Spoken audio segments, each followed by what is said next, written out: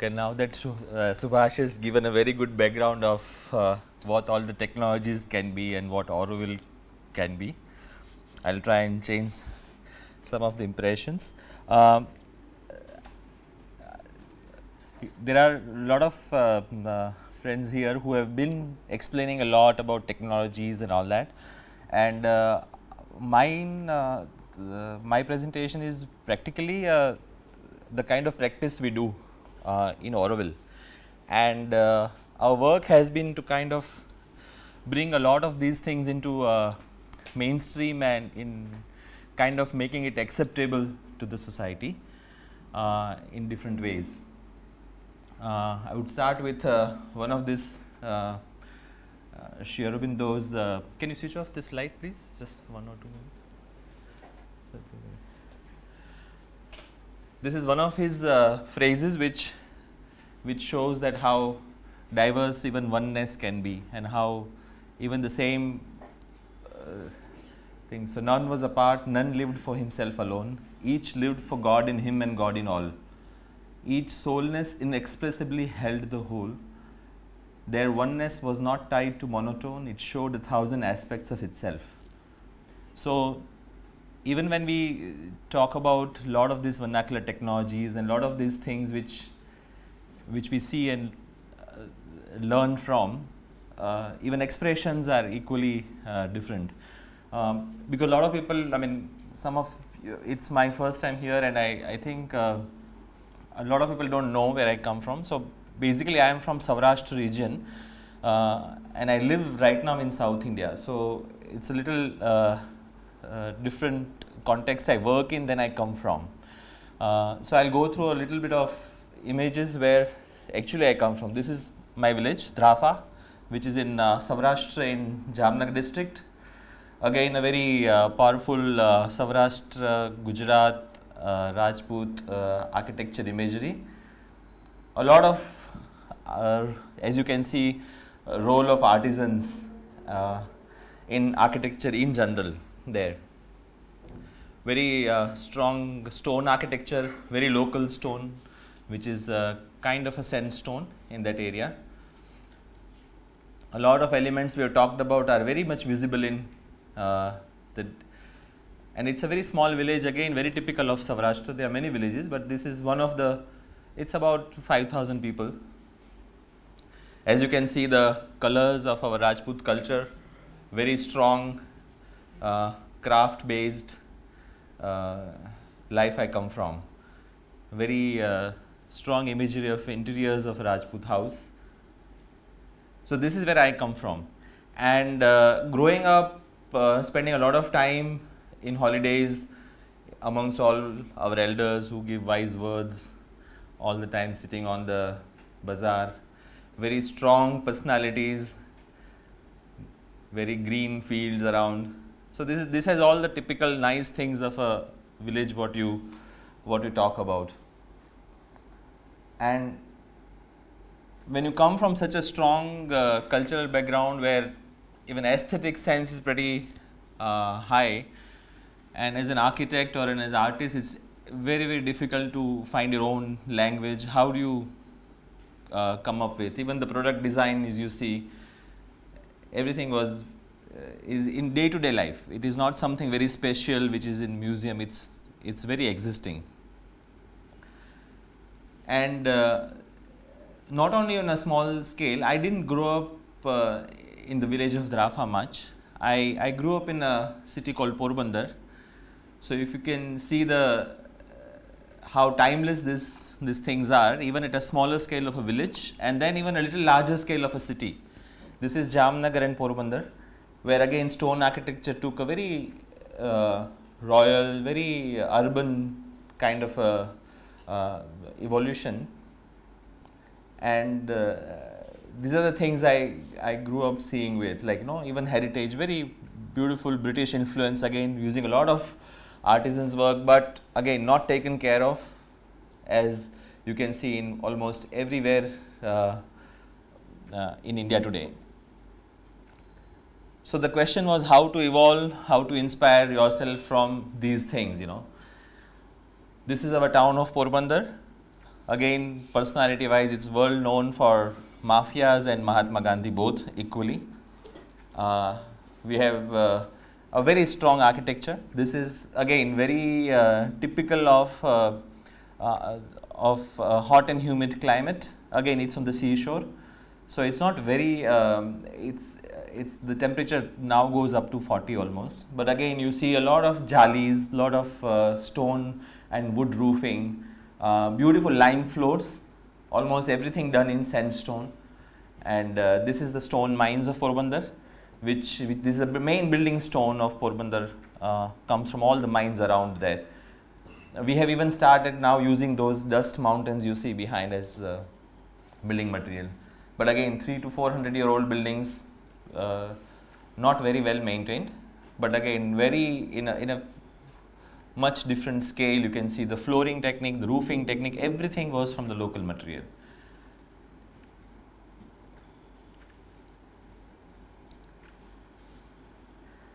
we have uh, it's Porbandar is situated right in, in the midst of a lot of lime. Uh, it's like lime belt. There's there's a huge limestone and sandstone around. So the only building material what you have is lime and sandstone. It is not like the bricks are not available. There is no bricks. Uh, cement factories are only in the last 50 to 60 years, which has come up because of the raw material of lime and all. And if you look at the, the, you see even in the plinth there are different kind of stones. Uh, there are like different mines which have different stones. So the corners are used by certain mines of the stone which are little uh, uh, denser than the walls are of little softer stone and all. Same thing again heritage lying in Desiree but there are again as Subhash showed there are skills which are existing in the town this is again very common of the coastal Saurashtra where you have this big boat building industry where they do excellent woodwork. 500 tons 1000 tons of uh, kind of small ships done without drawing without anything. There is absolutely no nothing. It's only hand measured and passed on as a tradition. I also see a huge possibility of architecture, the modern architecture taking these skills into use, no, in using building roofs and design we haven't got much time, but because I was coming to IIT, I thought these are the slides to show how these technologies, because even boat building is also in a, problem in those areas, but it's still very much alive in the Saurashtra coast. Even in South India, there are some areas. They have waterproofing technique, everything without any chemicals. So this is where you grew up and then I landed up in Auroville in 1992 and uh, as many of you may know, Auroville is, a, is an international township which is in South India. Uh, about 40 different nationalities live there. And uh, in late 80s when I was, I had finished my uh, uh, civil engineering and I was traveling in India and I, I had heard about Astra and I had heard about Laurie Baker. So I went to Laurie Baker and got stuck there, never reached Astra. so a lot of my learning comes from looking at Laurie Baker's work very closely in late 80s and early 90s before I landed up in Auroville. And uh, so our Auroville uh, again is based on the, the charter of Auroville of which some of the words are very strong and which made a huge impression on the kind of work we do today. Uh, the idea of Auroville is a common uh, uh, ownership. Like we are all under our Auroville Foundation. Now even Ministry of HRD is our uh, mai-baap, you can say. We come under the Ministry of HRD. And uh, so it is basically a place which belongs to humanity as a whole. It's a place where unending education is very important. And I think that is kind of ingrained into the thought of Auroville that you are constantly learning and evolving. And what also it is that it, it wants to be the bridge between the past and the future. And you take advantage of the discoveries from without and within. I think there are these are the few things which which attracted our uh, kind of found gave a direction to the kind of work we do and the materials we work with and the site of material and spiritual research is. So this is I will not go more into the you know, Auroville idea, but I think any one of you who is interested can go more on the website or come personally and uh, look at that. I run an architecture office in Auroville. It's a very mainstream architecture office. We call ourselves. We do not call ourselves very alternative, very uh, any any of the box. We don't. We are not fitting. But uh, we are about 20 people, and uh, about 12 architects. We have seven or eight interns and a couple of artisans who work with us and a few other teams. And our work is kind of dedicated to this kind of interactions which we are here for, where you learn from each other and uh, share what you have. And our conscious effort is to find the building artisan a space in the contemporary Indian architecture. We are not going to debate of what is vernacular and contemporary, but I think what what today's aspiration is is basically our, our our work is to make it little more aspirational the kind of materials we work with. And obviously the inspiration comes from the ancient wisdom of building where uh, as somebody already said before the creation that the form is the creation of the spirit and draws all its meaning and value from the infinite spirit. It is not something we don't work the other way around we don't make forms. Forms is kind of the result of the kind of spirit we work with uh, our work is quite a lot of people tell us, oh, you just try a lot of materials. You, some of them say, oh, you do very vernacular buildings. Some of them say you do very contemporary buildings. So it's very, I can say, we are somewhere in between where we have not found a kind of direction. That's why the presentation is I have called it a fine blending of opposites. We are dealing with the opposites of very old and very new. Auroville thinks it's a very, very new idea. For something like India, where Vasudhaiva Kutumbakam is the same thing, it's not a new idea. So it is, so we are somewhere in between and we work a lot with the, the materials right now. What we see in South India is basically uh, uh, the kind of uh, materials we get there, lot of earth, uh, bricks. So I'll take you through some of the images, like a lot of lime and which is used in the plasters. Still not very much alive. Again, going. Uh, this technique is dying out very soon. But these are the typical South Indian uh, techniques where oxide floors in many different colors. Very, very popular. Uh, it used to be in the traditional South Indian architecture. The roofing tiles, which are a little different than the other parts of India. Again, the brick size, it has its own size. Achikal bricks, which is used in the Madras terrace roof with the wooden and the lime uh, things. This is one of the images of uh, house uh, thing we are restoring in uh, Anegundi. We also use a lot of brick, uh, normal metric size brick in uh, making vaults. We use uh, hollow blocks for jack arch roofs and all that technicalities. I think you have already seen some of them. Very similar techniques.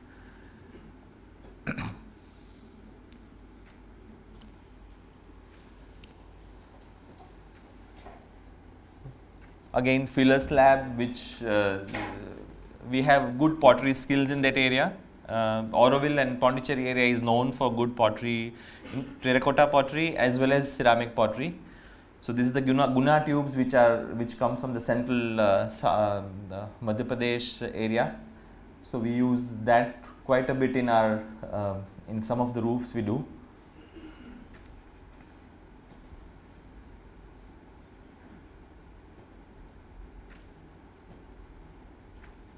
So basically our architecture draws from the kind of materials which we are working with right now, pottery, uh, wood, uh, thatch, mud, lime, uh, earth.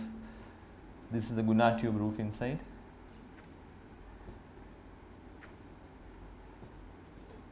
We use also a lot stabilized earth. We, I personally have built very little with uh, the, the pure earth because I like the stabilization and the acceptability and the ease it gives. Uh, So uh, we try and use uh, mostly our buildings have quite a bit of uh, earth element into it. We have been experimenting a lot with the different colors of earth in that area. Uh, and uh, most of our buildings are in and around Auroville and different parts of India where we work. Like in Gujarat, for example, we are doing something where uh, we are also using uh, the whatever locally available, we try and use it. we try and find the context for the kind of aesthetics we, we work with and however uh, wherever we try and find that link with the kind of work we want to do with the and that is our uh, uh, main so our work sometimes look very uh, colorful because we also use a um, uh, lot of handmade uh, touch like is water spouts or some murals or this has some water spouts done in ceramics. We do some exposed brick work very different textures and colors of earth we try and do uh, in different parts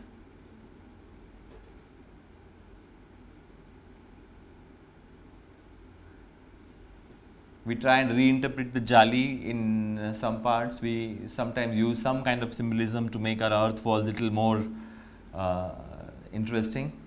The local uh, wood, we also, we, we, in Pondicherry area, we get a lot of uh, uh, old wood.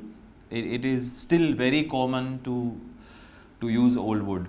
So we try and use a natural color. This is like something which you have been working like uh, all different woods which are available. The natural color itself is quite uh, different. We use a lot of recycled doors and windows in our buildings.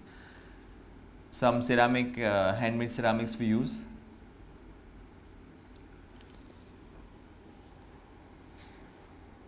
And we try and find the kind of uh, the meaning. Like this one, uh, we have been trying to design a facade for a, a building uh, from the, the industrial terracotta block which is available, a small block all different kind of uh, granite dressings and everything we are trying to use for like uh, bathroom instead of industrial tiles where we try to use uh, handmade granite uh, pieces.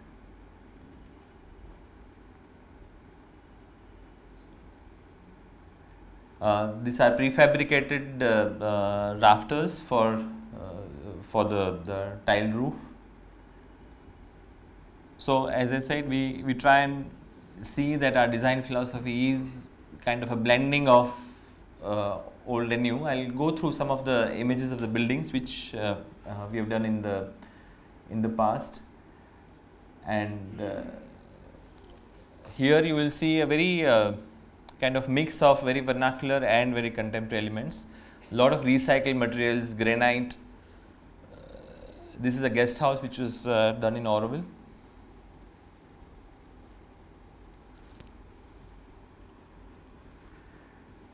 Residences and uh, uh, we we live in a in an area where we can afford we, we don't have winter. So it, we can afford to have very open spaces very uh, very transparent kind of buildings we can have. We don't need too much glass. We just need veranda spaces. Uh, so we use a lot of jali also in our uh, uh, houses. And oxide flows uh,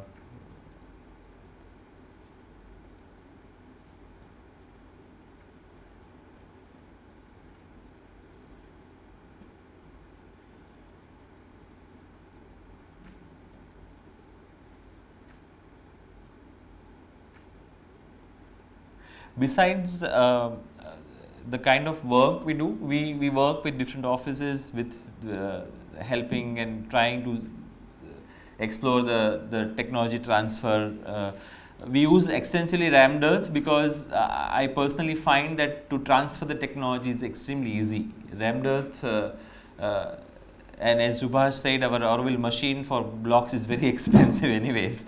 so, so we have our, our, our own version of rammed earth shuttering which is quite affordable for a proper house which when we are doing. Uh, we also do some restoration work. This is one of the heritage hotels we did in, uh, in Pondicherry, uh, where we tried and use Athangudi tiles, which is a, a, tile which is made in South India. uh, with a lot of uh, old wood ceilings and all.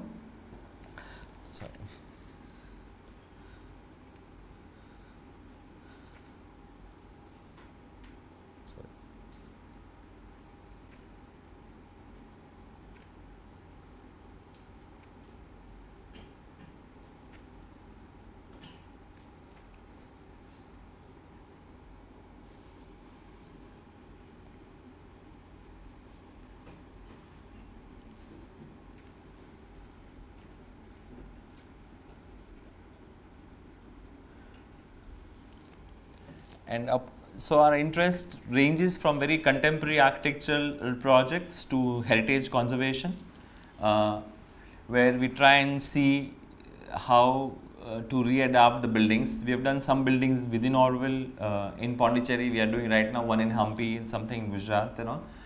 And uh, apart from that, we are also part of a network, the owner-driven rehabilitation. That is where I met Yogananda and uh, Subhash and all a few years ago in the tsunami work. That's how I know them. And so we are part of different networks where where we work with uh, uh, disaster resistance and disaster um, uh, mitigation with different organizations. And right now we are also working on the Gujarat, uh, the government social housing, which is with Hunarshala Foundation in Bhuj and uh, People in Center in uh, Ahmedabad. Where actually the, the, the reason why I am here would probably, I would bring it because every time we want to use any of these technologies in any of the government projects everywhere, constantly the, the the codes and, and all the discussion on structures and these and that come comes into picture. And I think IITs can play a huge role. And in fact, uh, I don't know whether uh, Kiran has told you, the, but even CVR Murthy, who, who was in Kanpur and who is now director and who knows all these technologies and all, even he was so hesitant in passing these, like in Saurashtra housing, they are not letting us use rammed and stone dust, which is like everybody can have a free access to that. So, even people who are extremely sensitive in IITs, like CVR, and he is like any one of us who is convinced that these things are good.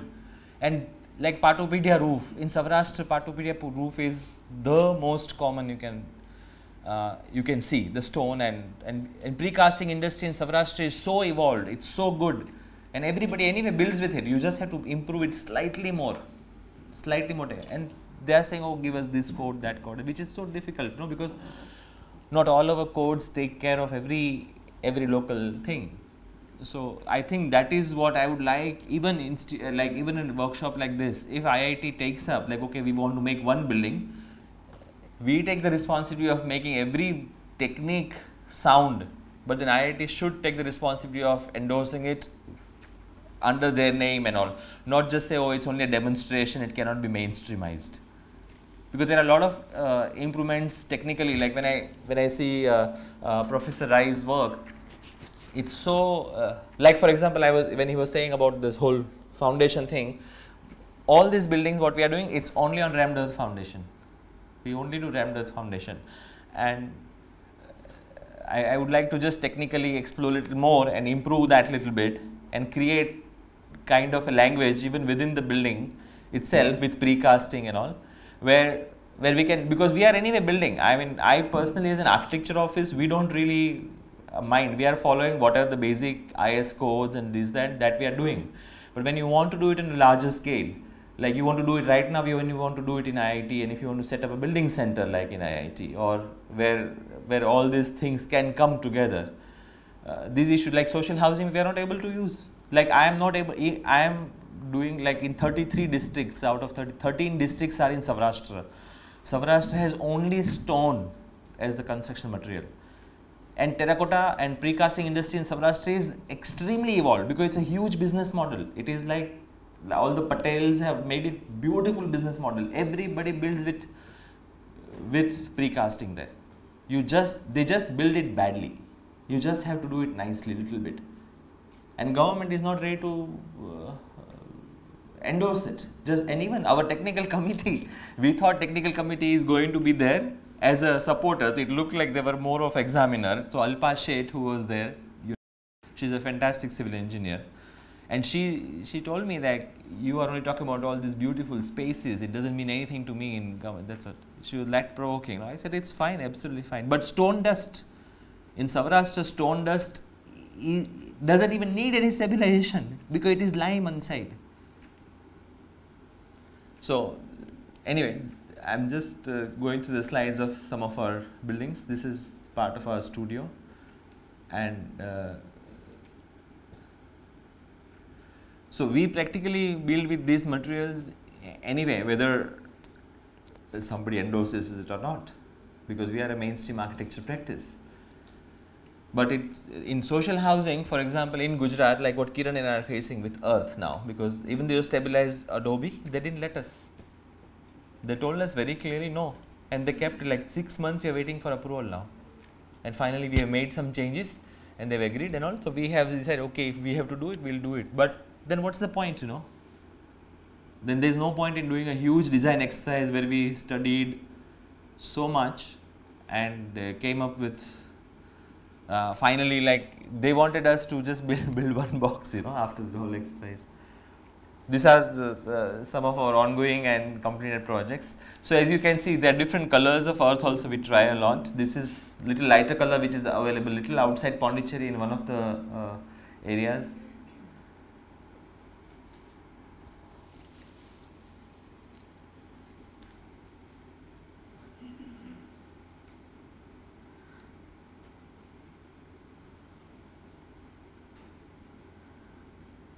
So I, I mean, I uh, in tomorrow's brainstorming, I would actually like to discuss that if anything like this you are trying to build, and what is it that that makes a lot of these things technically much more acceptable uh, to the government projects, especially because they are anyway are the single largest agency which can influence the development. You know. We also use a lot of recycled material. You can see we, we are fortunate to find that in South India. Uh,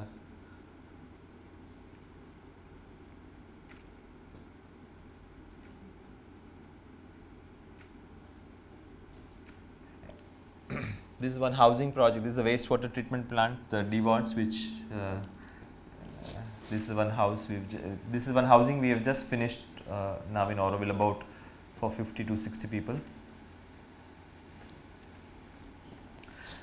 Okay, that's it. Thank you so much. 20 minutes.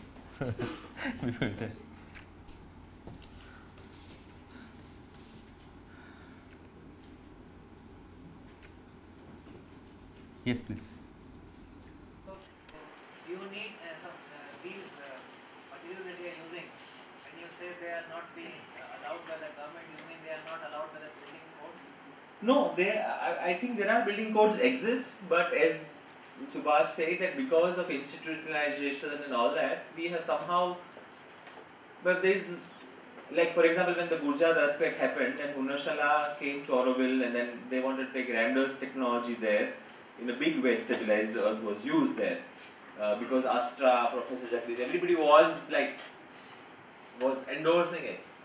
But they had to make the code. GSDMA with Gujarat government, the Gujarat State's Disaster Management Authority. They had to make the code themselves. Now, for example, right now we are facing, we have documented about 300, 250 to 300 different ways of how people build their houses in Gujarat for Indira Awas Yojana. Because right now we are the architects, we are three uh, we are three organizations who are doing the whole of Gujarat government's uh, Indira Awas Yojana.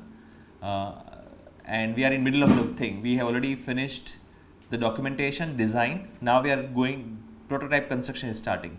The technical committee, that's what I'm saying, technical committee made and headed by CVR Murthy and Alpa Sheth. Alpa Sheth is a very mainstream technical expert in the country who is hired by the governments always. Uh, with with all the people uh, when we because this is how people anyway build. Uh, as Subhash already explained that it is not dead. Uh, like Patopedia roof in Saurashtra or wattled daub in uh, north south Gujarat or stacked earth or masonry stone masonry in Kutch foundation. These are not dead. These are existing things. This is today available. But government doesn't give you money if you build with that government only understands simple one brick, uh, one pillar, whatever, however badly done, roof, however badly done, doesn't matter. They just think that this is the thing. In fact, finally, after so much of argument and meetings and all, and they have agreed now that if you give us any codes from anywhere, so of course there are some codes available from Ramdas somewhere else, no? but Earth, build, Earth, they said no, and very strongly, these are government things, government buildings, and we cannot uh, let people just do uh, whatever. Because they think it is not their material. They think concrete is their material. So Alpa, for example, incidentally, she originally comes from Saurashtra, and uh, be because uh, we had uh, shown a lot of slides of how people. Because there is one, I am not going to that, but there is a fantastic innovation we discovered in Saurashtra, near our village Drafa, just 20 kilometers from a village, where even the stone slabs people were finding it very expensive to buy from mines. So the people have made their own terracotta slabs and highly technical. Even Ray was surprised. Like they have made this same size because the roofing is same, but it's all terracotta. So we proposed a whole prefabricated kind of house with the same material, and and uh, all the government officers, TDOs, DDOs, they were totally in our support. That yes, this is how people build. But Alpa and CVR and all, they said no we will not endorse these designs if you insist on these materials. And how sad it is, no, after doing that whole exercise. So that is what I am saying. In the IIT, you can build one beautiful building. People will talk about it, you will win an award, international award. Then what? That is not my interest in, in IIT, that okay, one building gets built. I think IITs should I am a civil engineer. I studied structural engineering. I went there because I did not want to study architecture. I, I just didn't learn anything how to do a small building. Whatever I was interested, I only learned from Laurie Baker, not from my college. So that is the thing, you know, why IIT should not teach any of these. Why, I mean, obviously Chennai IIT, then there are, like Chennai IIT has done Madras roof into the T-beam roof and very interesting work they've done, but it's not mainstream yet. I mean, it's been done, I don't know, 50 years ago maybe, 40 years ago. The T-beam uh, roof and tile, it's very nice, beautiful, very simple way of doing. I think that should be one of the our agenda where we endorse this technology and make it more technical with inputs from like you already have stone masonry experts here. There's Sanjay Chikarmane in IIT Bombay sitting there. He has been talking about lots and and experience is there, knowledge is there in the field. You gather like 20 experts and you have all the knowledge. I mean, I'm sure anybody like Vinodji and Sanjay can just tell you where to get their ventilation, these, that, everything they'll tell you. I mean, they don't need to uh, get somebody's approval for that. So I think that is the uh, that is the spirit with which this particular museum should be built, not just uh, one demonstration piece, but how do you even endorse and maybe you make a special code for indigenous indigenous technology. There are organizations like Hunarshala and several organizations. I am sure all the schools of architecture have. There are brilliant theses lying in uh, CEPT and NID and God knows all the institute IITs. And uh, that's it.